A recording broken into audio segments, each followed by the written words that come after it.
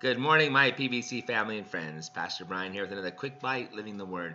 Today, our word is going to come from Proverbs chapter 2. Now, many of you know uh, today I'm having surgery. As a matter of fact, there's a better not chance while you're watching this um, that I already am, you know, uh, had either ha- having the surgery or, or having the surgery. But uh, nonetheless, uh, while I thought about this, I thought about, you know, one of the things I've always prayed whenever I've had to go in for a medical procedure, or for anybody else for that matter, was that God would grant the doctors wisdom. Now, it may seem like a silly thing to pray for because you go, well, yeah, you know, and I mean, uh, uh, you go, no, it's not silly to pray for. But honestly, what's the odds of that doctor being a believer? I mean, if that doctor's a believer, praise be to God, God can grant him his wisdom. But can God give wisdom to those who don't know him? Well, obviously he can. And we read that actually in Proverbs chapter 2.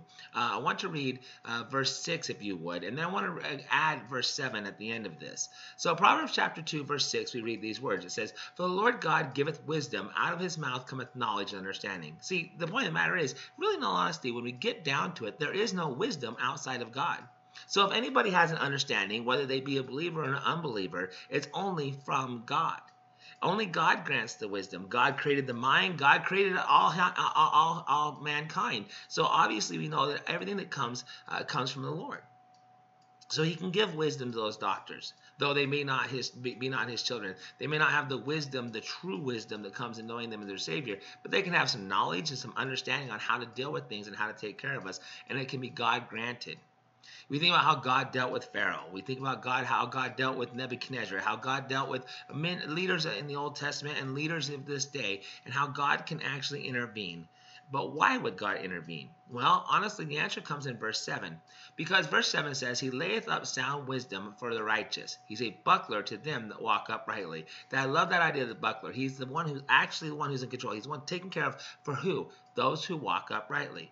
So sometimes God has to grant things to people who don't know Him, who are not His children, who have not trusted in His salvation through His Son Jesus Christ yet. Why? To take care of His children, those who walk uprightly.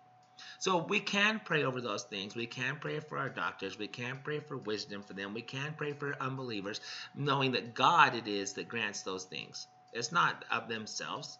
It's not of their own, uh, uh, uh, whatever the case may be. No matter what their belief system may be, we know that God is the one who grants. And oftentimes He grants this to them. Why? That they might take care of His children. So I hope this encourages you today. No matter what you're facing, no matter what you're coming against, just pray for God to give wisdom, not only to my obviously my doctor today, but also to to the, our leaders, to the to, to our nation, to to our local uh, leaders, to the, to uh, those who are in charge, even to your own boss who may not be a believer, but maybe God can grant them some wisdom so that He can deal uprightly with your boss. Your, your Lord can deal uprightly through your boss with you. I hope this encourages you today. I love you. We love you. God loves you. And God's got this.